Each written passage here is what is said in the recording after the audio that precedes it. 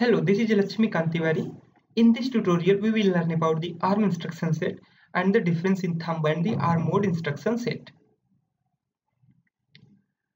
Thumb instruction set encodes a subset of the 32-bit ARM instructions into a 16-bit instruction set space. Since thumb has a higher performance than ARM on a processor with a 16-bit data bus, but a lower performance than the ARM on a 32-bit data bus. We mostly use a thumb for memory constraint system because the thumb has a higher code density than the ARM. You know code size is the space taken up in memory by the executable program. The important fact is that for the memory constraint embedded system, for example, mobile phones and the PDAs, code density is a very important factor. Cost pressures also limit the memory size, width and the speed we can say on average a thumb implementation of the same code takes up around 30% less memory than the equivalent ARM implementation.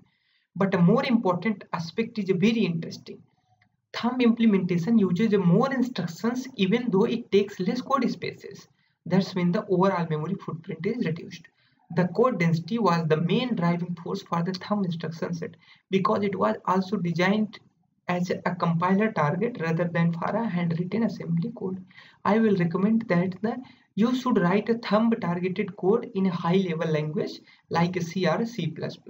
Nowadays compilers are very intelligent. They can take care of memory constraints. Now let's move for data processing instruction sets. Data processing instruction set consists of arithmetic, logic and the comparison and the data movement operation the main aspect of the arithmetic data instruction it has a lot of variation in its instructions such as you can directly subtract or you can also do reverse subtract. But these instructions are only work on registers but not on a memory. As we have already discussed in the first tutorial if you don't remember please refer to the first tutorial. The syntax of the instruction is very simple. We can also add suffix s Adding the suffix s means it will update PSR according to the most recent ALU operation result. But uh, conditional suffix is not supported into the thumb mode code. I want to tell you about some of instructions maybe for which you do not familiar such as BIC bit clear instructions and these instructions clear the specified bit of registers. ORR instructions uses for the setting the bits and instructions used for the masking of the bits. EOR that is the XOR uses for the inversion of the bits and also here some comparison instruction set which do not produce any result but this type of instructions only set condition codes.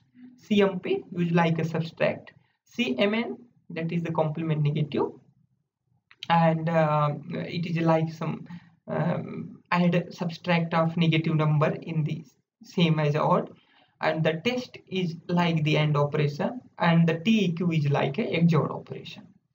As we can see here the ARM instructions can work with more than two registers in a single instructions but here register thumb mode but here again thumb mode supports only two registers operation together. Very important feature of ARM is second operand is sent to the ALU via barrel shifter Generally, all instructions are single cycle instructions except PC operation instructions. The barrel shifter is a function unit which can be used in a number of different circumstances. It provides a five type of shift and the rotate which can be applied to the operand too. And these are the LSL, logical shift left, logical shift right, arithmetic shift right, rotate right, and the last one is the rotate right extended. There are two methods for a shifting first first one is you can rotate or shift through another registers or you can directly give the immediate value for shifting. And let's understand with the example. Here first operation is move operation with the logical shift left. That's when the register 0 will multiply by 2 and then result will again store in the same register. That's mean in R0 this second instruction is used for the division but unsigned and this third one is used for the sign division. And this fourth instructions will rotate right by 16 bit. It means it will swap the top and the bottom half of registers R3 now let's do some programming exercise.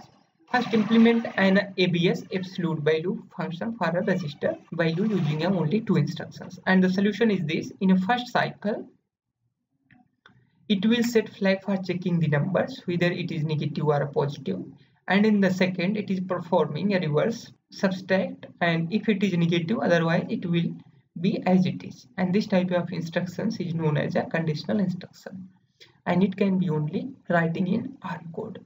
Let's move for next questions. Multiply a number by a 35 and guaranteeing that it execute in a two core cycle. Now the solution of this question is this. In the first instruction number is multiplied by 5 and in the second it is multiplied by 7. So overall result is coming with the multiplication of 35. Now I am going to stop this tutorial here and if you have any question please comment below and subscribe this channel for more video tutorials.